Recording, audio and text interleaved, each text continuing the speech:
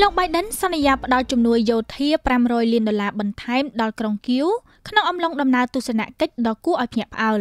ប្រធានាធិបតីសហរដ្ឋអាមេរិកលោក Joe Biden បានសន្យាផ្តល់ជំនួយយោធាថ្មីសម្រាប់អ៊ុយក្រែនដែលមានតម្លៃ500លានដុល្លារក្នុងអំឡុងពេលដំណើរទស្សនកិច្ចដ៏គួរឲ្យភ្ញាក់ផ្អើលមួយទៅកាន់ទីក្រុងគៀវកាលពីថ្ងៃច័ន្ទទី20ខែកុម្ភៈ ដំណើរទស្សនកិច្ចនេះធ្វើឡើងស្របពេលដែលការឈ្លានពានរបស់រុស្ស៊ីលើអ៊ុយក្រែននឹងគ្រប់មួយឆ្នាំនៅប៉ុន្មានថ្ងៃខាងមុខនៅក្នុងដំណើរទស្សនកិច្ចបង្ហាញពីសាមគ្គីភាពជាមួយទីក្រុងគៀវលោក Biden ក៏បាននិយាយផងដែរថាទណ្ឌកម្មបន្ថែមនឹងត្រូវប្រកាសនៅសប្តាហ៍នេះប្រឆាំងនឹងអិសរាជជនរុស្ស៊ី និងក្រុមហ៊ុនដែលព្យាយាមគេចពីទណ្ឌកម្មដើម្បីគ្រប់គ្រងម៉ាស៊ីនសង្គ្រាមរុស្ស៊ីលោកបានបន្តថាកញ្ចប់ជំនួយយោធានឹងរួមបញ្ចូលគ្រាប់កាំភ្លើងធំប្រព័ន្ធប្រឆាំងពីដែកនិងរ៉ាដាឃ្លាំមើលអាកាសដើម្បីជួយការពារប្រជាជនអ៊ុយក្រែនពីការទម្លាក់គ្រាប់បែកពីលើអាកាសពីសំណាក់ទីក្រុងមូស្គូ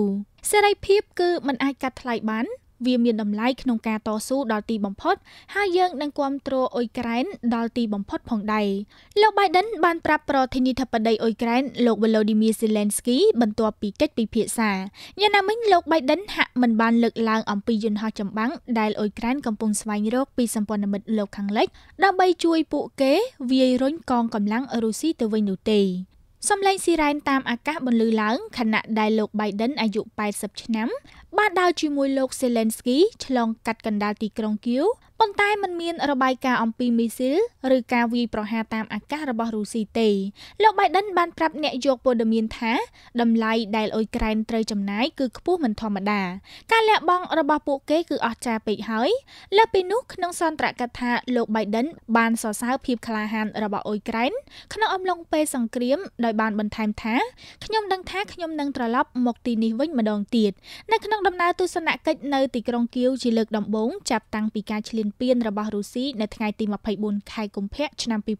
2022លោក Biden បាននិយាយថាទីក្រុងវ៉ាស៊ីនតោននឹងឈរជាមួយអ៊ុយក្រែនដល់ទីបំផុតលោកបានបន្តថាដំណើរទស្សនកិច្ចរបស់លោកគឺមានបំណងដើម្បីបញ្ជាក់ឡើងវិញនៅការបដិញ្ញាចិត្តរបស់យើងចំពោះលទ្ធិប្រជាធិបតេយ្យអធិបតេយ្យភាពនិងបូរណភាពទឹកដីរបស់អ៊ុយក្រែនលោក Zelensky បានលើកឡើងថាដំណើរទស្សនកិច្ចរបស់ប្រធានាធិបតីអាមេរិកទៅកាន់អ៊ុយក្រែនជាលើកដំបូងសម្រាប់រយៈពេល15ឆ្នាំនេះគឺជាដំណើរទស្សនកិច្ចដ៏សំខាន់បំផុតនៅក្នុងប្រវត្តិសាស្ត្រទាំងមូលនៃទំនាក់ទំនងអ៊ុយក្រែននិងសហរដ្ឋអាមេរិក ដោយពរនីអំពីដំណើរទស្សនកិច្ចរបស់មេដឹកនាំអាមេរិកថាជាប្រវត្តិសាស្ត្ររដ្ឋមន្ត្រីការបរទេសអ៊ុយក្រែនលោកឌីមីត្រូគូលេបាបាននិយាយថាទាំងលោក Biden និងលោក Zelensky រីករាយនឹងកិច្ចពិភាក្សារបស់ពួកគេលោកបានបន្ថែមថាដំណើរទស្សនកិច្ចនេះគឺជាជ័យជំនះរបស់ប្រទេសអ៊ុយក្រែននិងប្រធានាធិបតី Zelensky វាជាសញ្ញាច្បាស់លាស់ចំពោះទីក្រុងមូស្គូគ្មាននរណាខ្លាចពួកគេទេស៊ីរ៉ែនតាមអាកាសបានបន្លឺឡើងខណៈដែលលោក Zelensky និងលោក Biden នៅឯវិហារ St Michael Golden Dome Cathedral នៅលើទីលានមួយនៅកណ្ដាលទីក្រុងគៀវជាកន្លែងដែលគេទុករថក្រោះរុស្ស៊ីដែលរងការវាយប្រហារបន្ទាប់ពីបានទៅទស្សនាវិហារនោះមេដឹកនាំទាំងពីរបានដាក់កម្រងផ្កានៅជញ្ជាំងនៃការចងចាំសម្រាប់ទាហានអ៊ុយក្រែនដែលបានស្លាប់ក្នុងការប្រយុទ្ធនឹងរុស្ស៊ីរហូតមកដល់ពេលនេះទីក្រុងវ៉ាស៊ីនតោនគឺជាអ្នកផ្គត់ផ្គង់ជំនួយយោធាដ៏ធំបំផុតដើម្បីជួយអ៊ុយក្រែនទប់ទល់នឹងការឈ្លានពានរបស់រុស្ស៊ី